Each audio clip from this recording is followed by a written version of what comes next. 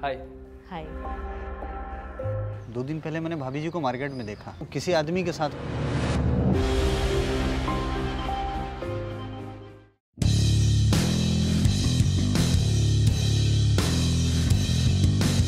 ईद पर रिलीज़ हुई सलमान खान और रेमो डिसूजा की रेस थ्री का बॉक्स ऑफ़िस पर क्या हाल हुआ ये हम सभी जानते हैं।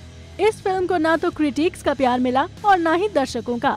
भले ही रेस थ्री ने सिनेमा घरों में 100 करोड़ रुपए का कारोबार किया हो, लेकिन इसे सुपरहिट फ़िल्म करार नहीं दिया गया।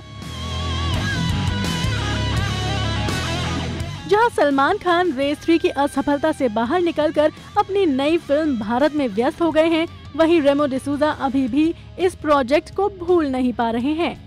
बीते दिनों रेमो डिसूजा ने बात करते हुए बताया था कि शूटिंग के समय फ़िल्म में लगातार कई सारे बदलाव हो रहे थे, जिनकी वजह से इसको काफ़ी हानि पहुँची।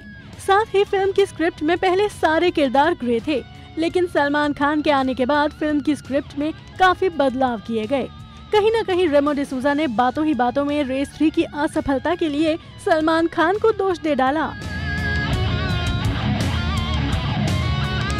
अगर बॉलीवुड से सामने आ रही ताज़ा खबरों की माने तो सलमान खान को रेमो का ये कमेंट पसंद नहीं आया है।